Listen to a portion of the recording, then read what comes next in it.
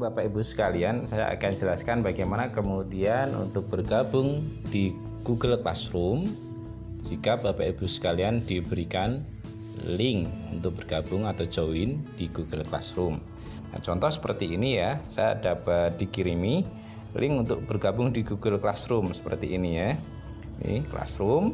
Jadi kalau eh, kita klik ini biasanya akan diarahkan ke browser ya browser di HP nah e, nanti kalau sudah ada aplikasi Google Classroom di HP Bapak Ibu sekalian maka dia akan meminta untuk dibuka dengan aplikasi. Nah ini adalah contoh ketika e, belum punya atau di HP belum terinstall Google Classroom maka dia akan diarahkan untuk membuka browser. Nah sementara ini kita tutup dulu.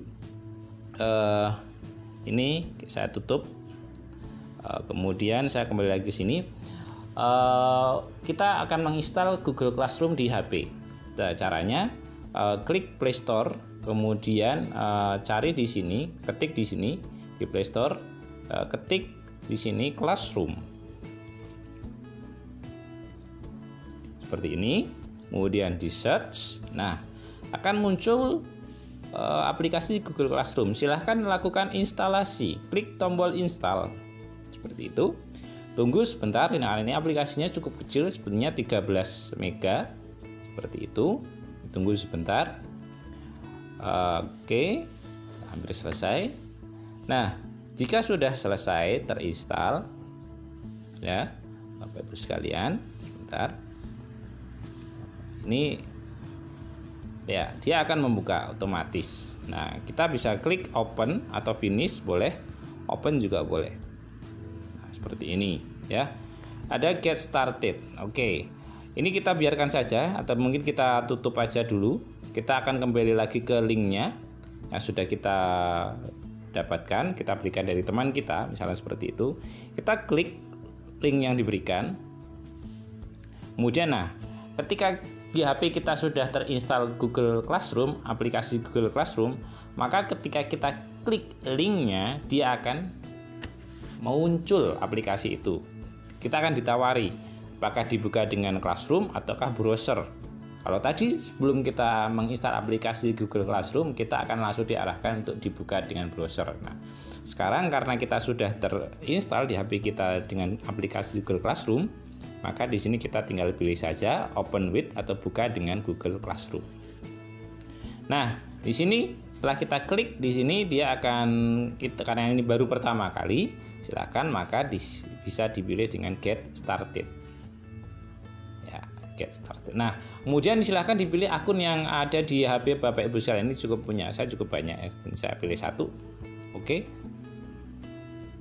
Kalau punya Bapak Ibu sekalian ada satu ya langsung saja pilih aplikasi uh, ininya. Ya uh, kebetulan tadi punya saya kan akunnya banyak di HP ini nggak apa-apa. Kalau punya bapak ibu ada satu atau dua silahkan pilih salah satu. Nah ini berarti kita sudah selesai dan ini sudah selesai. Artinya selesai berhasil bergabung atau join dengan Google Classroom yang sudah ditawarkan atau diminta oleh teman kita atau mungkin guru kita. Kalau berarti ini posisinya adalah kita sebagai siswa. Tahunya kita sebagai siswa seperti apa kita klik di people di sini ada menu people. Nah di sini ada di sini ya ada keterangan di sini classmate ya. Ada classmate. Jadi kalau kita cermati yang ini atas ini adalah gurunya ya teachers. Jadi gurunya ini bisa jadi nanti suatu ketika Bapak Ibu sekalian itu menemukan bisa jadi lebih dari satu guru yang mengampu di kelas ini. Nah, temannya teman-teman sekelas itu ada di sini letaknya. Nah, kebetulan teman sekelas yang ada di Google Classroom ini, kelas ini hanya baru satu. Ya, nama Bapak Ibu sekalian tidak muncul di sini karena ya sebagai yang pemilik akun dia kita hanya melihat orang lain. Jadi kalau orang lain melihat nanti kita akan kelihatan, tapi akun kita nggak kelihatan. Seperti itu. Jadi posisi kita ada di sini. Kita adalah kalau seperti ini posisinya sebagai siswa. Seperti itu ya. Oke. Nah, Tinggal sekarang Bapak Ibu sekalian bisa mencermati di sini ada stream, ada classwork seperti itu. Nah, di stream ini adalah eh, postingan-postingan, pengumuman postingan mau posting apa pun seperti itu nanti akan ter, ter muncul di sini semua. Entah itu materi, tugas atau hanya sekedar sapaan, opini, komentar itu nanti akan bisa muncul di sini semua. Dan Bapak Ibu sekalian juga bisa melakukan komentar di sini share di sini ya.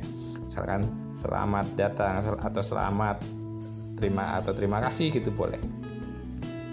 Terima kasih sudah diajak bergabung gitu.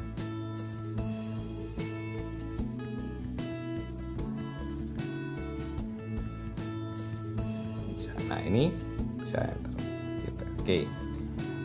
Gini, nah ini kan bisa. Oke. Nah seperti itu. Nah kemudian di kelas work ini ini akan muncul beberapa materi ataupun tugas yang diberikan oleh uh, guru kita mulai dari apa pun ini Sebenarnya ini adalah topik-topiknya ya. Jadi kalau di sini ada beberapa topik, di sini ada topiknya petunjuk, ada MPLS, ada bahasa Indonesia, ada IPA. Nah, ini nanti tergantung dari si guru yang e, mengelola classroom ini. Nah, seperti itu. Oke. Kemudian seperti itu ya. Sementara cukup itu dulu e, bagaimana cara bergabung di classroom melalui link ya Bapak Ibu sekalian untuk ini uh, sebelum Bapak Ibu sekalian memberikan link ini ke siswa uh, akan alangkah baiknya Bapak Ibu sekalian mencobanya sendiri dulu sebagai siswa. Bapak Ibu sekalian mencoba sebagai siswa sehingga Bapak Ibu sekalian tahu di mana kesulitan atau kendala yang dihadapi oleh para siswa. Demikian ya Bapak Ibu. Nah, terima kasih.